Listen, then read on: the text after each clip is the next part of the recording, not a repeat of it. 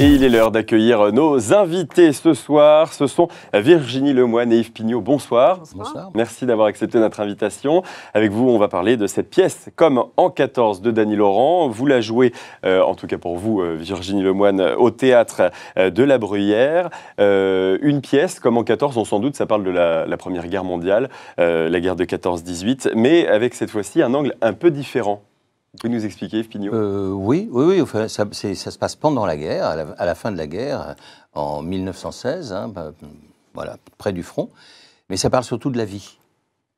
La guerre, c'est la guerre. La guerre, c'est le drame. La guerre, c'est- on sait tout ce qu'on sait. Mais c'est aussi la vie qui reste aussi derrière.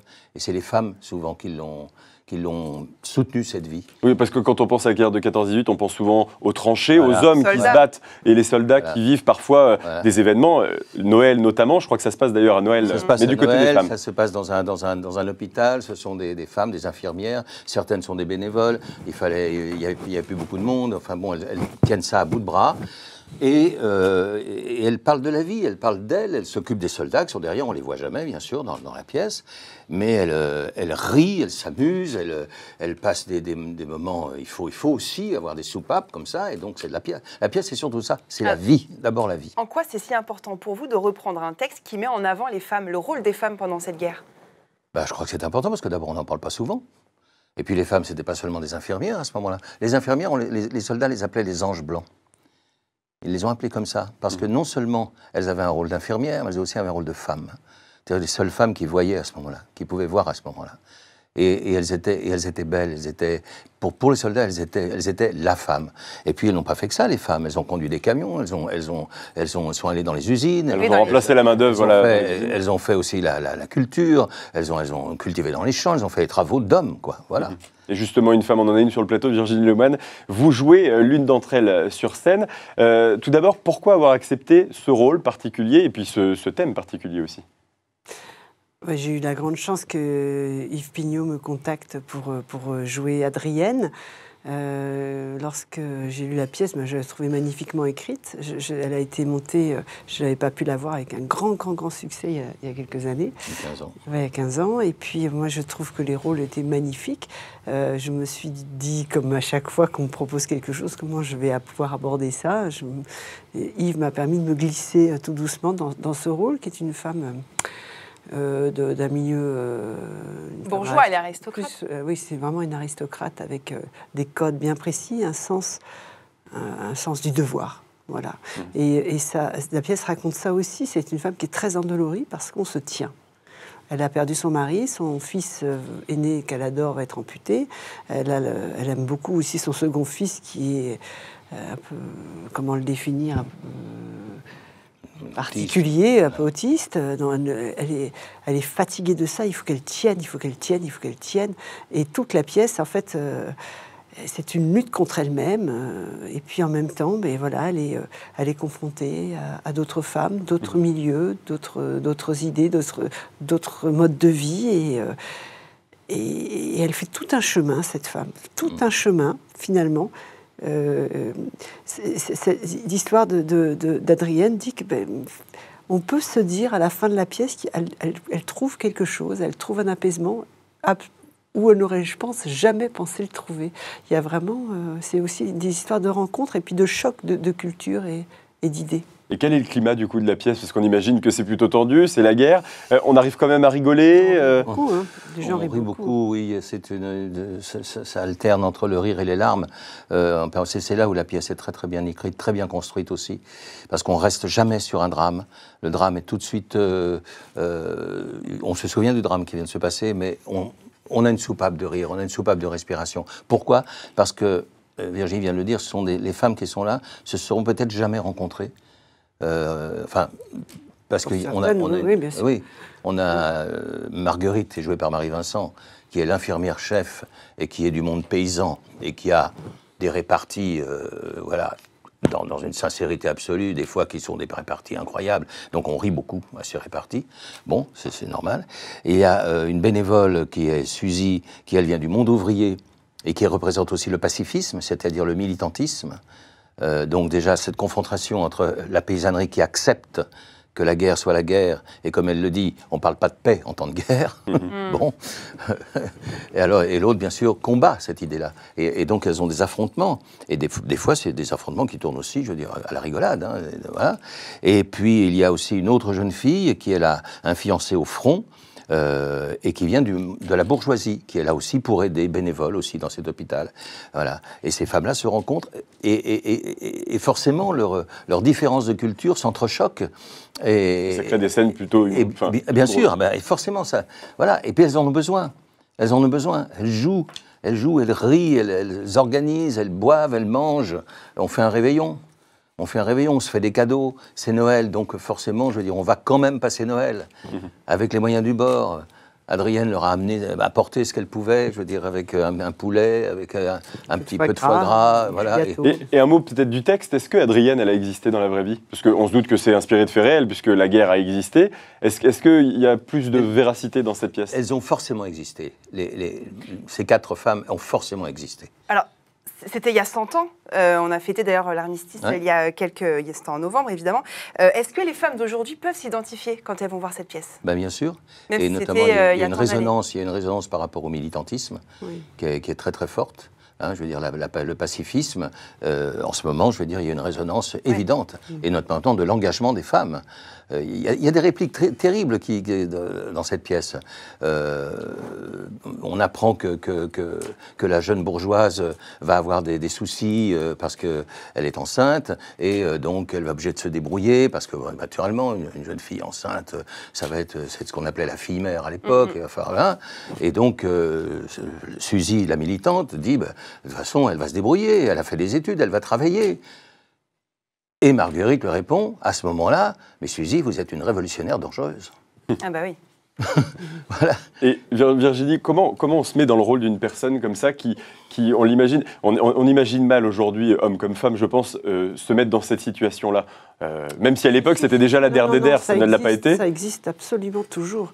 Ça existe toujours des femmes qui sont dans le devoir absolu, des femmes à qui euh, on, on- on conseille de se marier avec, euh, avec le jeune médecin parce que, euh, si, si, ça existe toujours. Euh, et. Et puis aussi chez les hommes aussi, hein, on- les hommes aussi, hein, que parfois sont, sont, sont construits avec une éducation qui leur f- impose, inflige comme ça un sens du devoir, ça existe toujours.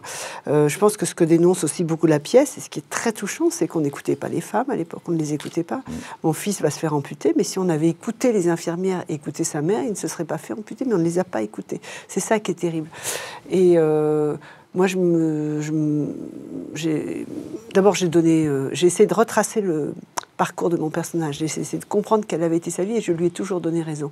Donné raison d'être fatigué, d'être au bout de, tout, de, comprendre où était sa souffrance. Les, gens, il n'y a pas de euh, dans la vie. Et donc, sur scène, il n'y a pas de- d'âme immaculée qui affronte des âmes noires. C'est simplement l'humanité.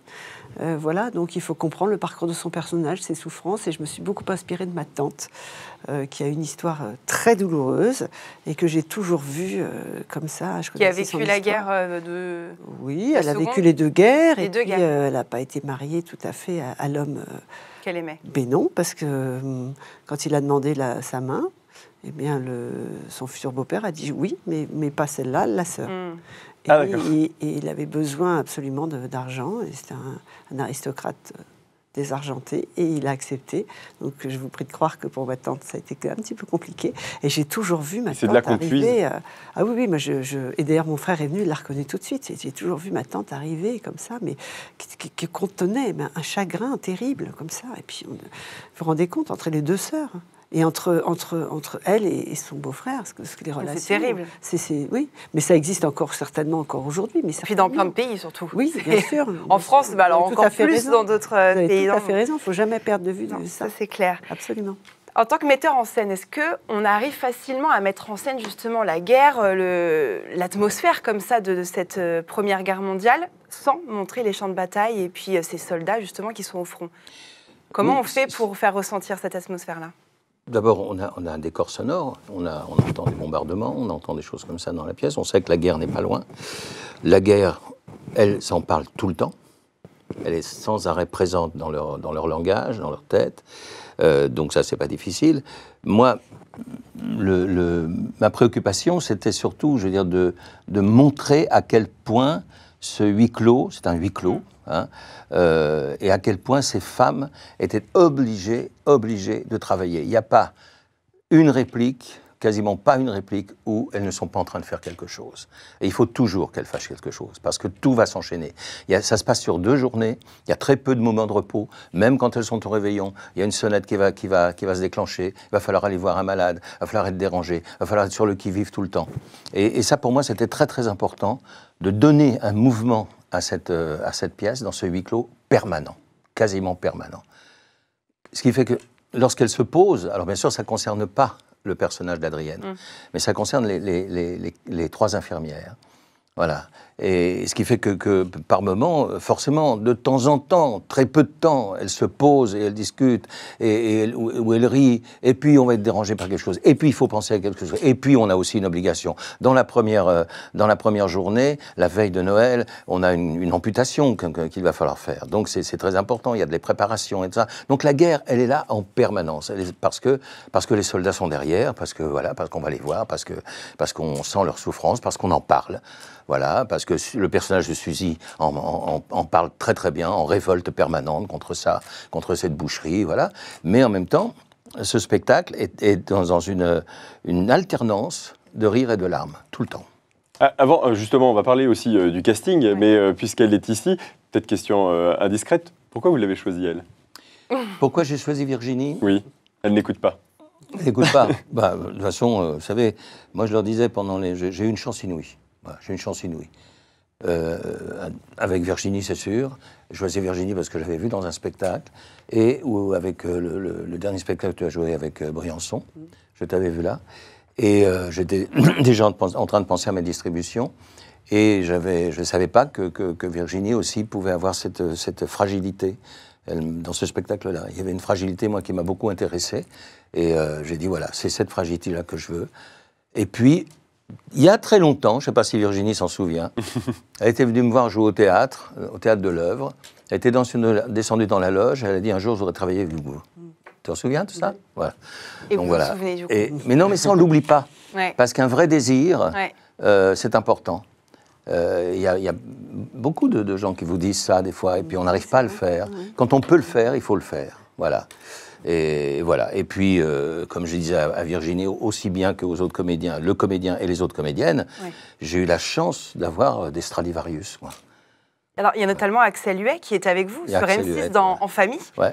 Vous l'avez choisi par rapport à ça parce que vous le connaissez euh, dans la série? Non, je ne l'ai pas choisi par rapport à ça, mais, mais il fallait aussi réunir une troupe, il fallait aussi réunir des amitiés, il fallait aussi réunir de- des- des gens qui s'entendent bien, des gens qui, se, qui, voilà, qui, qui bah, sont vraiment, vraiment euh, unis. Et Axel, euh, je l'ai vu travailler, et euh, c'est un comédien qui m'a séduit très très vite.